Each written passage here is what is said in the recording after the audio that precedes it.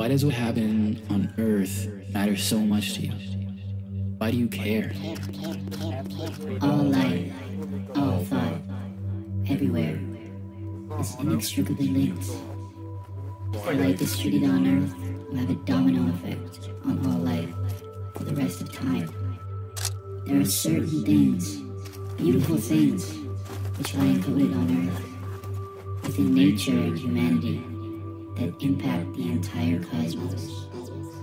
I also care because I am you, and I want the best for you and all life. You're far more powerful than you know, and this power can be used for unimaginable good to create beauty that you cannot even fathom. Only you can unlock your own potential. Unlock your own mind.